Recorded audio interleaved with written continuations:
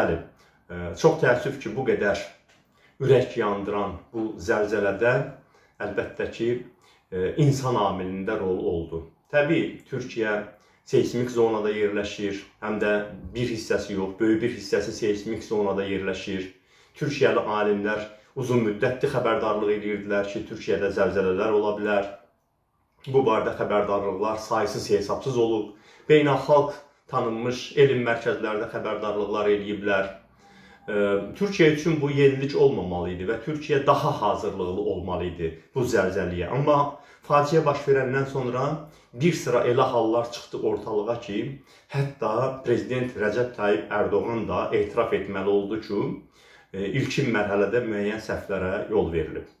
Əvvəla artıq heç bir şübhə doğurmur ki, zəlzələ bölgəsində tikilmiş binaların həm əvvəl, həm də hətta sonrakı mərhələdə tikilmiş binaların bir çoxu e, texniki standartlara, zəlzələdən mühafizə standartlarına cavab verməyib və bunu biz özümüz gözümüzlə də gördük. E, sementin, armaturların hansı keyfiyyətə sahib olduğunu, binaların özünün necə qurulduğunu biz artıq canlı yayımlarda o uçan binaların gözümüzlə görəndə seyr edirdik. Yəni bu elə faktlardır ki, bunu heç kim dana bilməz. O da məlum oldu ki, çox təəssüf ki, Türkiyədə memarlıq standartlarına, təhlükəsizlik standartlarına cavab verməyən bir çox binalarda hansısa mülahizələrlə sonradan əfvə düşüb, onlar üçün də sənədlər verilib.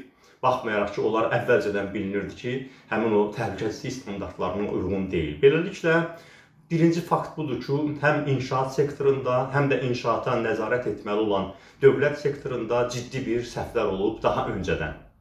Zəlzələ baş verəndən sonra zəlzələ ilə, onun nəticələri ilə mübarizə baxımından da ilk günlər operativlik müşahidə olunmadı.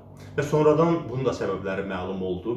Türkiyədə bu işlə məşğul olan AFAD deyilən baş idarə bizim təqribən Fövqəladə Hallar Nazirliyinə uyğun gələn bir idarədir, Daxili İşlər Nazirliyinin tərkibindədir. Məlum oldu ki, onun çox məhdud büdcəsi var, xilas edicilərin sayı da elə çox deyil Və bu baxımdan da çox təəssüf ki, deməli gözlənilən zəlzələyə hazırlıq o qədər də yaxşı olmuyormuş. Açığı bir məsələ də mənim üçün təəccüblü gəldi. Mən Türkiyənin dövlət aparatının e, belə bir böhranlı vəziyyətlərdə daha çevik hərəkət edəcəyini gözləyirdim. Xüsusilə bizim tanışlığımız Türkiyə ordusu ilə bağlıdır və ona görə də gözləyirdim ki, belə bir fövqəladə vəziyyət şəraitində Türkiyənin bütün strukturları saat mexanizmi kimi çalışacaq.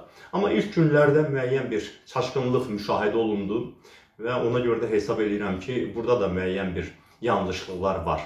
Mən uzun uzadı danışmaq istəmirəm ki, zəlzələ hansı çatışmazlıqları üzə çıxardı. Birincisi ona görə ki, siz artıq bunları bilirsiniz. Ən azı Türkiyə televiziyalarına baxmısınız, gözünüzlə görmüsünüz. İkincisi də açığı hesab edirəm ki, bunların hamısını müzakirə eləmək və buna qiymət vermək Türkiyə cəmiyyətinin haqqı, hüququdur. Türkiyənin kifayət qədər güclü müxalifəti var və onlar artıq ilk gündən baş verənlərə prinsipial qiymət veriblər. Türkiyədə müəyyən e, çətinliklər olsa da azad mətbuat da var. Türkiyənin ən baxımlı televiziyası elə müstəqil, biraz da müxalifətə yaxın televiziyadır, məsələn Fox televiziyası. Ona görə də vətəndaş cəmiyyəti də ayaqdadır. Vəkillər kollegiyası müstəqil mövqeyli olan bir ictimai quruluşdur. Təbiblər Birliyi müstəqil mövqeyli olan ictimai bir quruluşdur. Türkiyənin alimləri, akademisyenləri, məsələn bizim e, ziyalılarla, elm adamlarla müqayisədə çox özlərini müstəqil hiss edirlər. Universitetlər az-çox müstəqilliyini saxlayıblar. Ona görə də hesab edirəm ki, bu məsələləri Türkiyə toplumu özü ciddi şəkildə müzakirə eləyəcək və hökumətə aid olan sualları verəcək hökumətin məsuliyyətini müəyyənləşdirəcək. Xüsusilə də yaxın aylarda onsuz da Türkiyədə həm parlament, həm prezident seçkiləri olacaq. Yeri gəlmişkən indi onun çox e, yubadılması ilə bağlı söhbətlər var. Mənim bildiyim qədər bu seçkiləri yubatmaq mümkün olmayacaq. Çünki Türkiyə konstitusiyası yalnız xarici hərbi müdaxilə zamanı seçkilərin yubadılmasını nəzərdə tutur. Hətta nə qədər böyük fəlakət olsa da, çox güman ki, 14 mayda çox tez olar, amma əvvəlcən nəzərdə tutulduğu kimi iyun ayının 18-nə ya da o ərəfiyə seçkilər keçiriləcək. Beləliklə, Türkiyə ictimaiyyəti, Türk xalqı özü qərar verəcək ki, bu hökumətin nə qədər məsuliyyəti var, bu hökumətə hansı hökmü verməlidir. onun cəzası nə olmalıdır? Yox, əgər cəzasından xidməti çoxdursa, onun mükafatı nə olmalıdır? Bunun hamısının qərarını verəcək Türkiyə xalqı olmalıdır. Biz nə qədər özümüzü yaxın bilsək də, yer gəlmişəm bu zəlzələ üzə çıxardı ki, biz doğrudan da e, çox içdən yaşadıq bu acıları və biz doğrudan da gerçəkdən də çox yaxınıq. O e, bir millət, iki dövlət deyimi təsadüfi deyil. Amma bütün bunlara baxmayaraq, hər halda Türkiyədəki siyasi qərarları, hökumətin formalaşması ilə bağlı qərarları Türkiyə xalqı verməlidir. Prezident Rəcəb Tayyib Ərdoğanın bu sınavdan çıxa biləcək, ona qarşı e, belə deyək, indi tənqidlər artıb, bu seçkilərdə onun taleyini necə təsirləndirəcək, bu yükü qaldıra biləcək, bilməyəcək. Bunun da əlbəttə ki, cavabını Türkiyə əhalisi, türk xalqı verəcək bir neçə aydan sonra seçkilərdə və bununla əlaqədar olaraq mən bəzi məqamlara toxunmaq istəyirəm. Azərbaycan cəmiyyəti e, çox maraqlıdır ki, E, Türkiyənin iç siyasətinə həddindən artıq çox diqqətlə yanaşır. Demək olar ki, Azərbaycanda o siyasətlə maraqlanmayanlar heç, siyasətlə maraqlanan kəsim e, Türkiyənin iç siyasətinin sanki bir aktyoruna, bir iştirakçısına çevrilib. Azərbaycan cəmiyyətinə baxırsınız, həm internet televiziyalarında, həm sosial şəbəkələrdə sanki burada yarış gedir.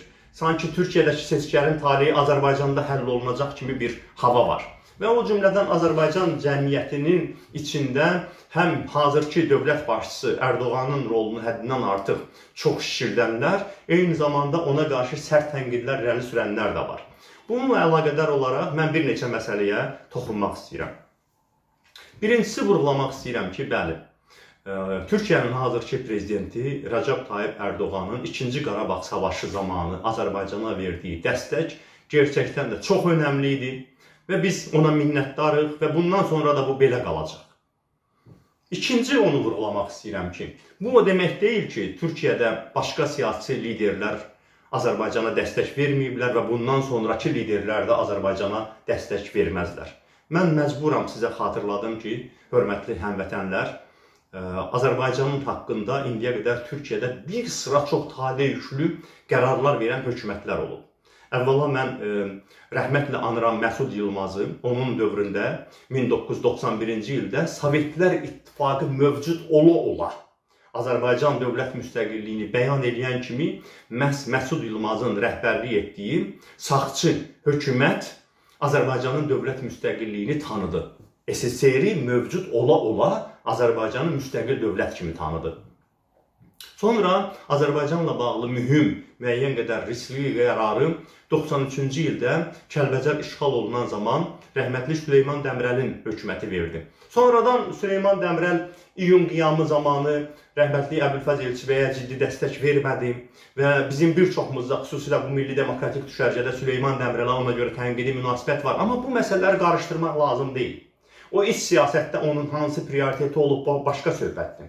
Amma fakt budur ki, Bu günlərdə artıq 30 ili tamam olacaq ki, Türkiyə-Ermənistan sərhəddi bağlıdır. Yer gəlmişkən, bu 30 ildə bir ilk oldu. Ermənistan həmin sərhəddən humanitar yardım göndərdi Türkiyəyə. 30 ildə ilk gedən maşınlar idi bu, həmin sərhəddən. O sərhədləri Süleyman Dəmirəl vaxtında bağlayıblar və həmin o hərbi təlimatçılar da həmin Süleyman Dəmirəl hökuməti zamanı Azərbaycanda idi. Yəni indiki o Bəxtiyar Paşanın gördüyü işləri görəcək adamlar O zaman da e, demək e, Azərbaycanda idi, prezidentin də müşaviri vardı, Müdafiə Nazirliyində də həmin hərbçilər oturmuşdular və bizim hərbi təlimlərin də keçirilməsinə çoxlu sayda türk hərbçiləri cəlb olunmuşdular. Və nəhayət 2001-ci ildə e, İran tərəfindən Azərbaycanın Xəzər dənizindəki neft platformaları hədələnəndə o zaman hökumətin başçısı solçu bu dəfə Bülent Əcəvid idi. Allah rəhmət eləsin. Onun hökumətinin qərarı ilə 2001-ci ildə 22 il bundan qabaq dünya indiki kimi deyildi. Türkiyə də indiki qədər güclü deyildi. Amma F-16-lar Bakının Xəzərin üzərində uçuş edib buralara heç kim toxuna bilməz mesajını verdi və Azərbaycanlılar da bəlkə də 1 milyona qədər insan 1 saatın içində azadlıq meydanına toplaşıb həmin o F-16-ları salamladılar, öz minnətdarlığını ifadə elədilər. Daha əvvəl isə ümumiyyətlə Bakının azad olunması barədə qərarı isə ümumiyyətlə monarx vermişdi, Osmanlı padşahı vermişdi o qərarı. Ona görə də baxın, Görün nə qədər hökumətlər, sağçısı var, solçusu var, monarxı var. Amma bunların hamısı Azərbaycanla bağlı taley yüklü məsələlərdə Azərbaycandan yana qərarlar veriblər. Ona görə də hesab edirəm ki, bundan sonra da Azərbaycan cəmiyyətini indi belə qorxutma halları var. Dediyim kimi radikal yanaşmalar var. Bir kəsim ümumiyyətlə hazırki prezidentin ə, hətta Qarabağ münaqişəsi zamanı ə, bizə verdiyi dəstəyi də danacaq həddə qədər radikal yanaşırlar məsələlərə, doğru deyil. Biz onu hər zaman qeyd edəcəyik. Necə ki, bu günləri e, sadaladığım adamların heç biri Türkiyənin keçmiş hökumət, dövlət başçıları heç biri həyatda deyil, amma mən sizin qarşınızda oturub onların hamısının Azərbaycan üçün etdiklərini xatırladıram. Eləcə də heç kim hakimiyyətdə əbədi deyil, Azərbaycanda olduğu kimi deyil. Türkiyədə hökumətlər seçki ilə gəlib gedirlər. Bir gün hazırki prezident də ya özü, ya seçkilərdə uduzaraq hakimiyyətdən gedəcək Və buna baxmayaraq tarix dəyişməyəcək. Bizim üçün minnətdar olacağımız adamlardan biri olacaq Rəcəb Tayyib Ərdoğan. Amma başqa bir səhv də var bizim içimizdə yaşayan. Azərbaycan cəmiyyətini şantaj eləyirlər. Xüsusilə bu artıq hökumətə yaxın dairələrdən gəlir. Azərbaycan cəmiyyətini sanki şantaj eləyirlər ki, güya Türkiyədə hökumət dəyişsə, daha Azərbaycana heç bir önəm verilməyəcək, Azərbaycana dəstək verilməyəcək. Yalandır, əziz həmvətənlər bu günləri Türkiyə müxalifətinə öncüllük eləyən Kamal Qılıçdaroğlunun, Məral xanım Akşənərin rəhbərliyi ilə böyük bir koalisiya var və onlar özlərinin hökumət proqramlarını müəyyənləşdiriblər və orada çox aydın şəkildə Azərbaycana münasibəti də müəyyənləşdiriblər bəri başdan. Yəni baxıb oxuya bilərsiniz. Azərbaycanla münasibətin daha da səmimi olacağı, Azərbaycanla münasibətin prioritet qaydada olacağı xüsusi olaraq vurğulanıb. Yəni bu gələcəklə bağlı nəzəri söhbət deyil. Artıq həmin bu siyasi qüvvələr öz öhdəliklərini ortaya qoyublar ki, onlar Türkiyədə iqtidar olanda da Azərbaycan məsələsi Türkiyə hökuməti üçün ən kilit, ən vacib məsələlərdən biri olacaq. Ona görə də Azərbaycan cəmiyyəti buna görə də e, qorxutmaq, şantaj eləmək lazım deyil ki, güya Azərbaycana Türkiyənin münasibəti yalnız hazırki dövlət başçısı Rəcəb Tayyib Ərdoğanla bağlıdır.